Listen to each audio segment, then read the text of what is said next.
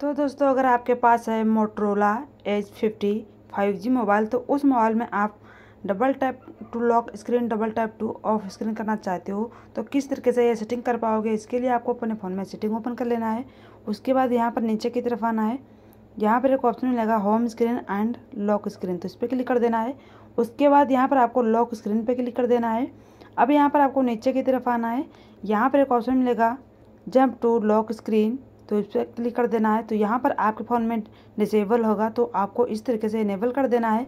और अब यहाँ पर आपको इनेबल कर देना है। उसके बाद बैक आना है। फिर यहाँ पर एक ऑप्शन मिलेगा put the display to sleep तो इस पर क्लिक कर देना है। उसके बाद यहाँ पर फिर से आपको यहाँ पर डिसेबल है। तो आपको ये इनेबल कर देना है। और यहाँ दिखा भी रहा है। जैसे ही डबल टाइप करेंगे स्क्रीन पर तो स्क्रीन ऑफ़ हो जाएगी। फिर से डबल टाइप करेंगे तो स्क्रीन ऑन हो जाएगी। तो दोस्तों, इस तरीके से अपने मोबाइल में डबल टाइप करने से स्क्रीन ऑन ऑफ़ हो जाएगी।